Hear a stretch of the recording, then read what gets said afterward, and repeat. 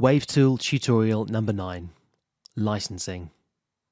In this video, we will learn how to license the WaveTool software, check which license is being used, and lastly, learn how to move licenses between WaveTool computers.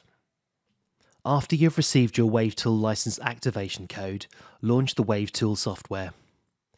WaveTool gives you a free 7 day trial. The first window to open will show you its status.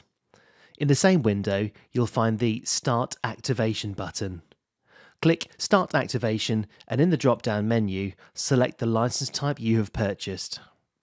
Type in or copy paste the license activation code you have received to the empty license code field, and then type in a valid email address. This email address doesn't have to be the same address used for the purchase of the license. Once all the fields are filled in, select Activate and you are ready to go. For the initial activation of WaveTool, you will need to have a working internet connection. If you have multiple network ports in use, please make sure that WaveTool tries to connect to the internet from a network port that is actually connected to the internet. The easiest way to do this is to set the port connected to the internet to be the first in the service order. Open the computer's System Preferences, then choose Network. From the bottom left corner of the window, open the drop down menu and then choose Set Service Order.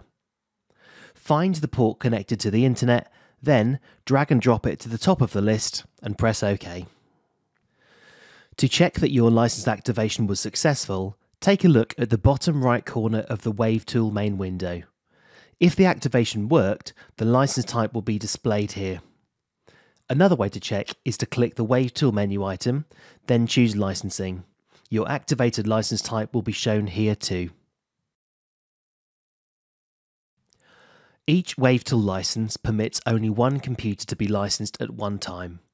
If you need to move the license between computers, you will need to deactivate the license from the first computer before the same license activation code can be used on a different computer.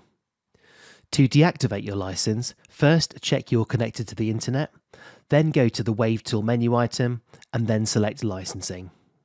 Next, hit the deactivate button. WaveTool will ask if you're sure you want to remove the activated license from this computer. If you are sure, then click deactivate and this instance of WaveTool will be deactivated. Your activation code can now be used on another computer. To check which license activation code is being used on your computer, simply go to the WaveTool menu item and choose About WaveTool. The window shows the in-use license activation code.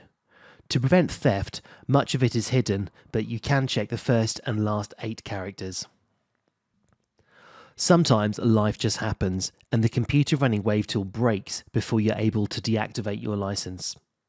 If you're unlucky like this, then please contact support at wavetool.fi, specify your license type and license activation code, and your license can be reset.